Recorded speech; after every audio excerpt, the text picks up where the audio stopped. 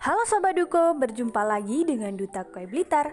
Sebelum memulai video ini, jangan lupa like, comment, subscribe, dan juga share ya.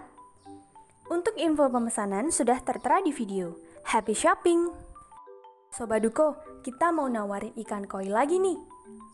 Ikan koi ini langsung dari petani koi di Blitar loh, yang pasti udah terjamin kualitasnya.